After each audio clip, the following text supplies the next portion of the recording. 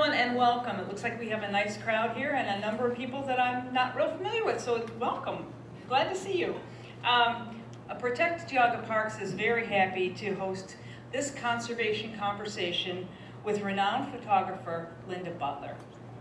I'm sure as all of you know, Protect Geauga Parks is a group that was formed um, specifically for the conservation and protection of land within our parks. Um, as part of that, we want to help, we promote these conservation conversations to, uh, to help everybody see the value in conservation. So um, in this case, we're going to a more artistic feel for that. Um, most of Linda Butler's real, recent work focuses on environmental themes. Through these photographs, Linda hopes to inspire people to protect this gem of lake that's on our doorstep. Linda demonstrates her um, conservation focus in other ways too, in her support for the um, Ohio Environmental Council, and the fact that she and her husband Steve Neeson um, live in a passive solar home that uses almost zero gra uh, energy, not gravity, energy. Um, um, these beautiful photographs uh, tell the story of one woman's journey to express the beauty, majesty, majesty and fragility of our own Lake Erie. Um, this presentation can prove the old adage that a picture is worth, worth a thousand words.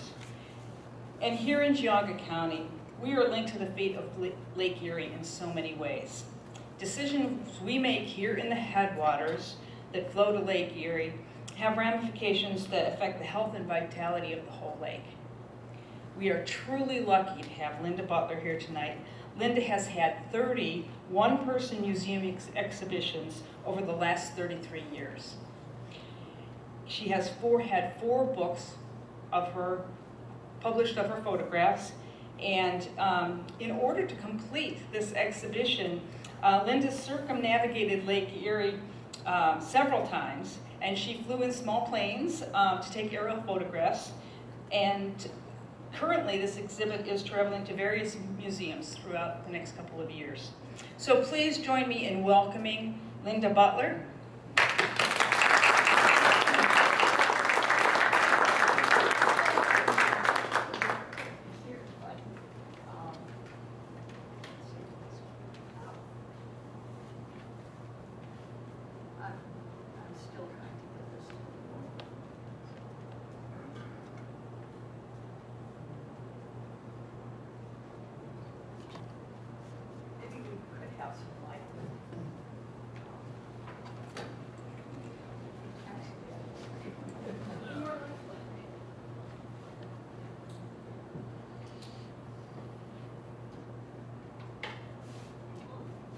Okay?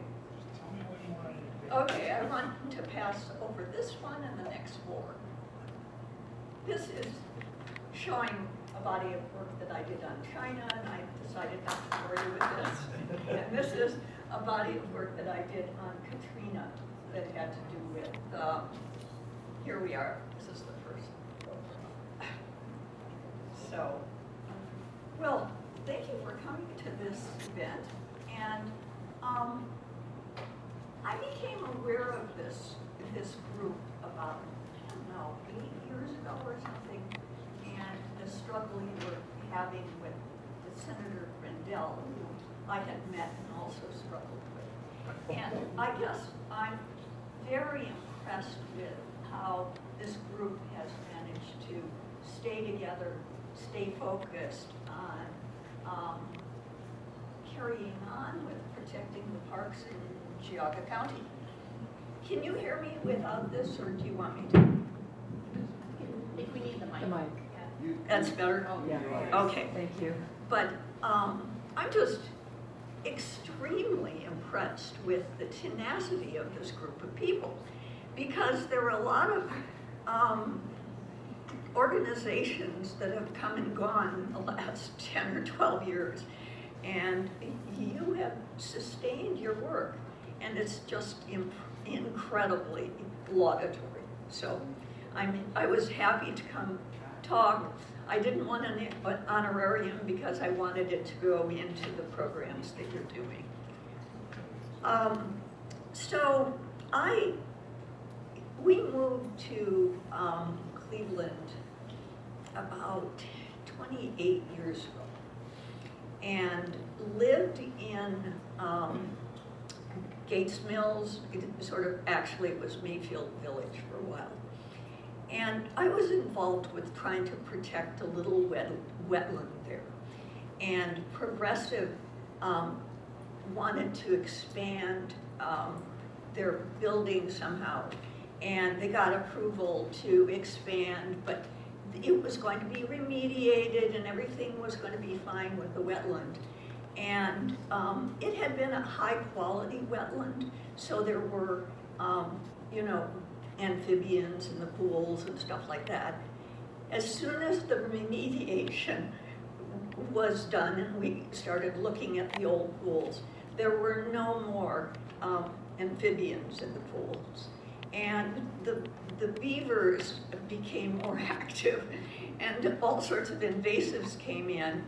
And the trees began dying out because they had more sun than they'd had before.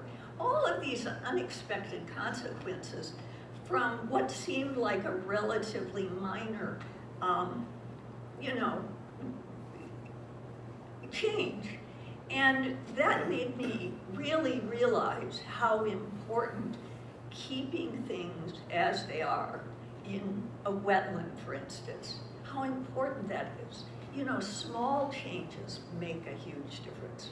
And big changes make an even huger difference, obviously.